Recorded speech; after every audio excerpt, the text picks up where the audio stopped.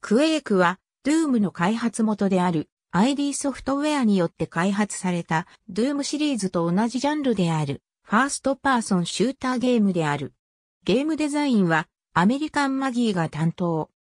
クエイク以前の FPS ではフィールドだけを 3D 描画し、それ以外のオブジェクトに関しては主にビルボードと呼ばれるスプライト描画テクニックによって 2D 描画されるのが普通であったが、クエイクからは登場するほとんどすべてのオブジェクトが 3D 描画されるようになった。また、ゲームシステムとしても、ドゥームでは実現されなかった高さの概念が導入され、ゲーム内容も高低差や立体交差などの三次元要素を十分に活かしたものとなっていた。フル 3D の FPS の元祖だけではなく、それまでのマルチプレイでは IPX、SPX のみのサポートであったネットワークプロトコルが TCP、IP をサポートすることにより、インターネットでのマルチプレイゲームを意識したゲームとしても斬新であり、クエイクスピートサーバブラウザという現在では当たり前の機能のきっかけを作った。ゲームエンジンのライセンスビジネスとしても成功を収め、多くのクエイクエンジンを使用したゲームが開発された。日本では初代クエイクの MS-DOS 版が P&A から Windows 版がゲームバンクからクエイク2がアクティビジョンジャパンサイバーフロントからクエイク3アレーナが P&A サイバーフロントからリリースされている。2007年8月よりクエイク1、2、3とそれぞれの拡張パックがスチームで販売されている。本国ではクエイク1、2、3のセットであるアルティメットクエイクにクエイク4もセットにしたクワードダメージコンボが発売されていた。シングルプレイヤーでは、ドゥームと同様に敵を打ち倒し、武器や弾薬やパワーアップアイテム等を拾い、ロックされた扉などを開けるための鍵などを見つけながら、ステージを進めていくのが基本である。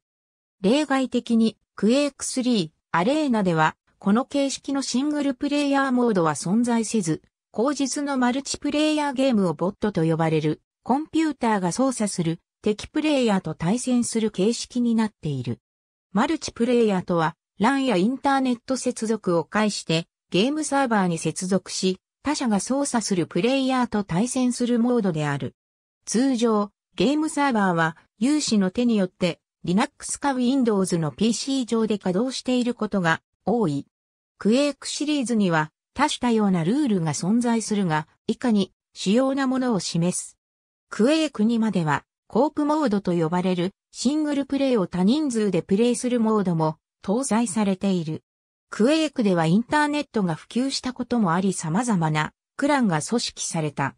大規模なクランでは100名以上が所属している場合もある。この3つはシリーズ定番のテクニックとされている。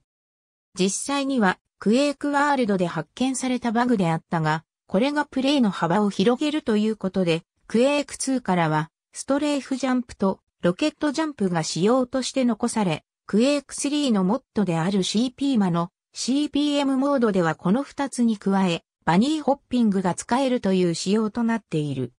ストレーフジャンプの具体的理論としては、ジャンプを連続で続けることにより減速せずに進み、また前進しながら右へ動視点右振りをすることにより加速する。バニーホッピングは、この動作を最初の加速だけ前進して、その後は前進キーなしで連続ジャンプと左右移動、視点移動で加速させてゆく。ストレーフほどの加速は得られないが、ストレーフと違い空中でカーブすることができる。ロケットジャンプはジャンプした瞬間に自分の足元にロケットを打ち込むことによりそのノックバックを利用して大ジャンプするテクニック。もちろん自爆ダメージは食らうことになるが、普通のジャンプでは届かないところに登ったり、ストレーフジャンプで加速してジャンプしても届かない距離をジャンプすることができる。シリーズ第一作にして、ジョン・ロメロ最後の ID ソフトウェアでの作品でもある。本作は1996年6月25日にリリースされた。スリップゲートと呼ばれる時空転送装置を利用し、地球へ向けて攻撃を仕掛けてくる敵に対して、それを利用して逆に敵地に攻め込んで壊滅させるというストーリー。ドゥームのように悪魔的であると同時に、ファンタジーと SF を融合させた独特の世界観を持っていた。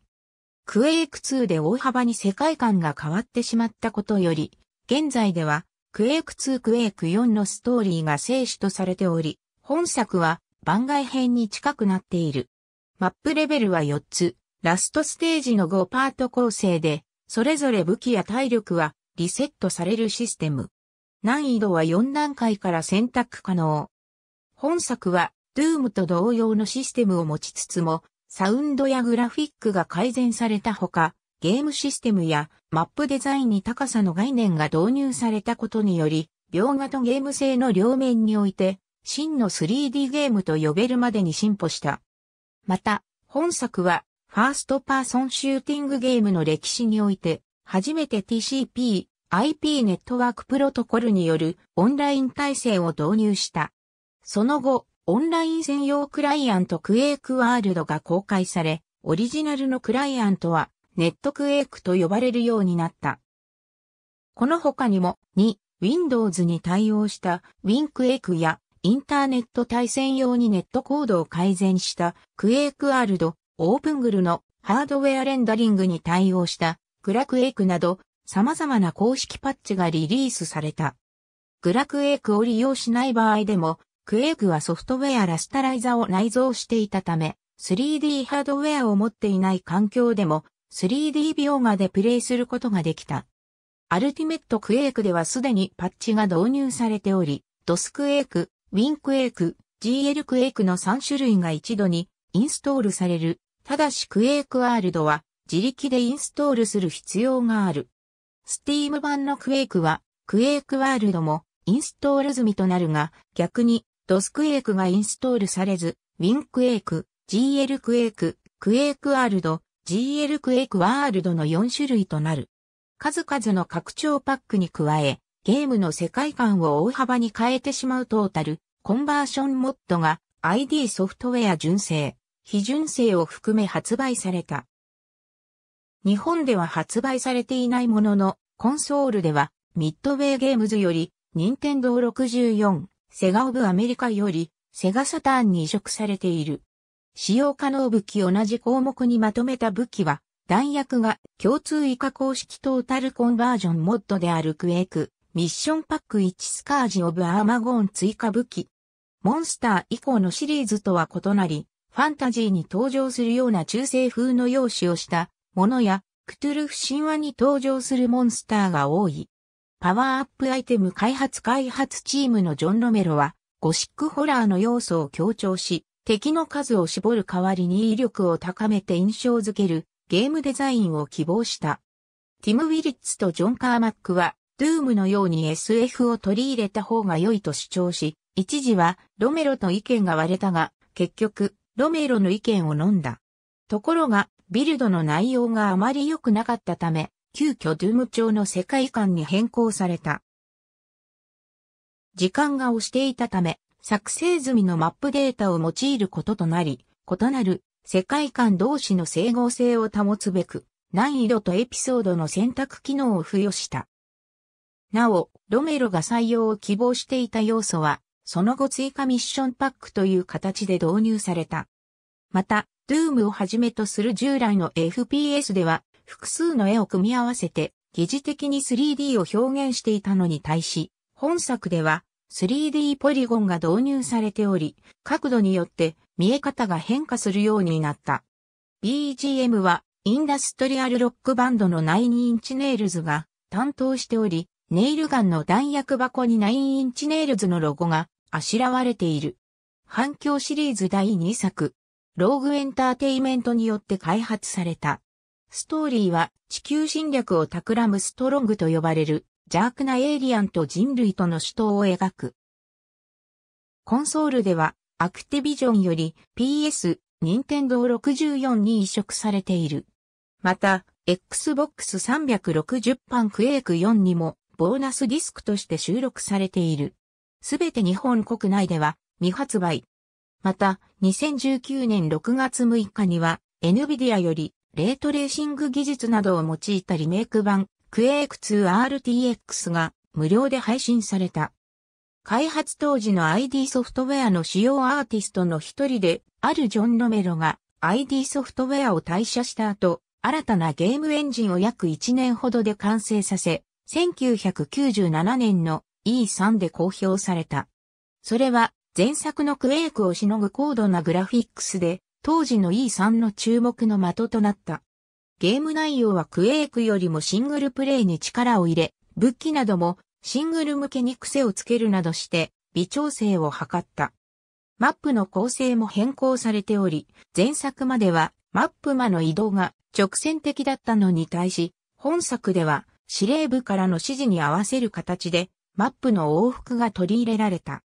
ファミ通の BRZRK は大きな戦場を表現するために一つのミッションにつき複数のマップをまたぐ手法を取り入れたのだろうと推測し、これによって前作よりも1ミッションあたりの手応えが上がったとしており、同様の手法を取り入れたポスタル2のようにロードを繰り返す事象を抑えられた点についても評価している。一方、マルチではマシンガンの反動がなくなるなど、シングルとは別の調整が施されている。またクエイクワールドをベースにネットコードの改善を図り、よりスムーズな通信対戦を可能にした。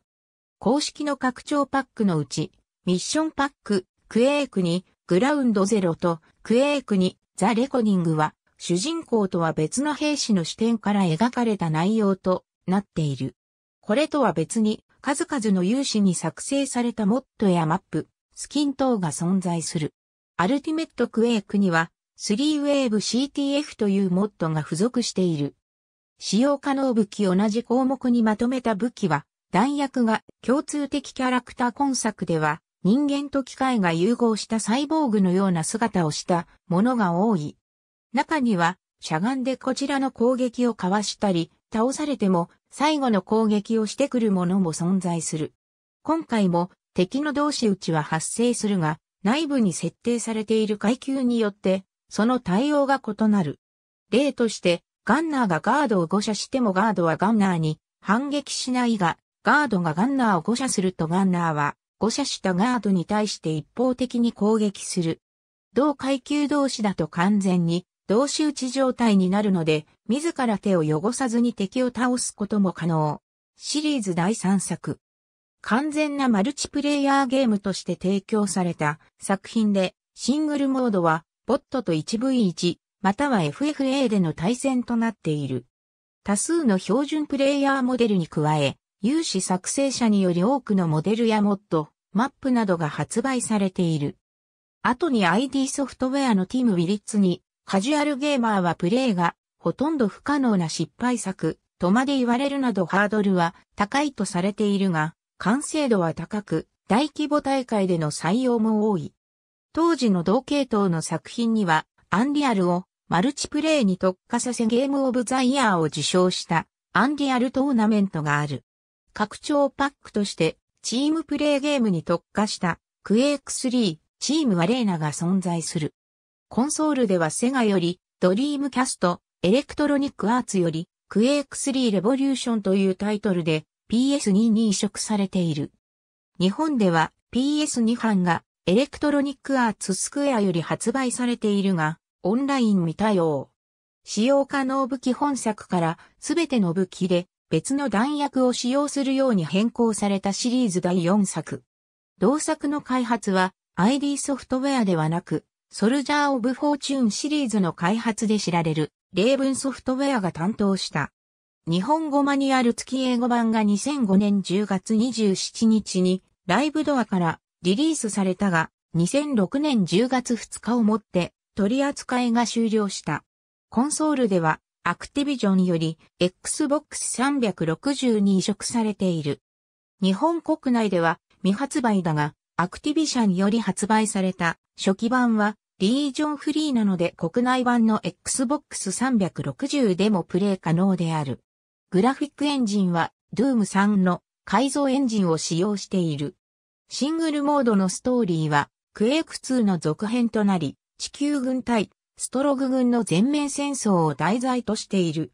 マルチプレイは、ドゥーム3エンジンを利用して、クエイク3、アレーナを再現したスピーディな FPS である。ポイントリリース1.3パッチで、ロケットランチャーの弾速向上や移動速度の上昇、今までとは別の画質調整機能の導入。ポイントリリース1.4ベータパッチから最大 FPS の引き上げ、レールガンの弱体化、ヒットボックスの縮小が行われた。シングルプレイでは武器のアップグレードを可能にするシステムが導入された。ストーリーを進めるうちに手持ちの武器のいくつかが改造処理を施され、より強力になるというもの。例えば、ネイルガンが追尾機能を搭載したり、ハイパーブラスターが壁に着弾すると跳ね返るなどである。マルチではあらかじめ調整されており、ダークマターガンはシングルでは近くの敵を吸い込んで倒すのだが、マルチでは広範囲に爆風を発生させるなどの少々、癖のある武器もある。シングルプレイでは仲間が存在する。彼らは共に戦ってくれたり、怪我の治療を行ったりしてくれる。現在大会では 94MAX と呼ばれるモッドが使用されており、クエイク3の CP マ同様にメニュー画面から多彩な設定ができるようになっている。使用可能武器モッドによる改造はシングルのみ。またマルチではクリップの概念がないため、リロードがない。クエイク3アレーナベースの完全無料、オンラインゲームである同作は、2007年にクローズドベータテストを開始し、2009年よりオープンベータテストに移行した。クエイク3からの主な変更点2009年4月半ばに日本国内サーバーが設置された。ウルフェンシュタイン、エネミーテリトリーのクエイクバージョン。ありがとうございます。